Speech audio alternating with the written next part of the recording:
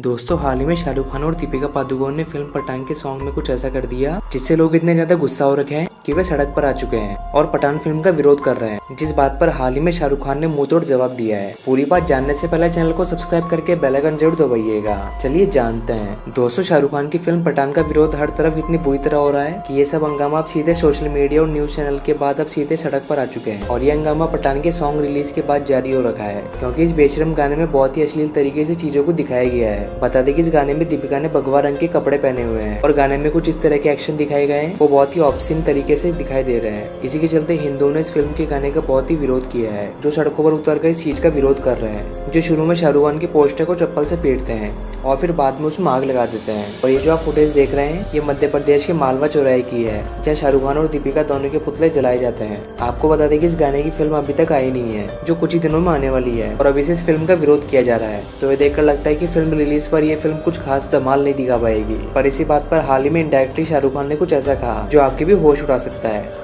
मौसम बिगड़ने वाला है कि दुनिया कुछ भी कर ले। मैं और आप लोग और जितने भी पॉजिटिव लोग हैं सब के सब ज़िंदा हैं। वैसे चीज़ में आगे क्या होता है वो तो वक्त ही बताएगा।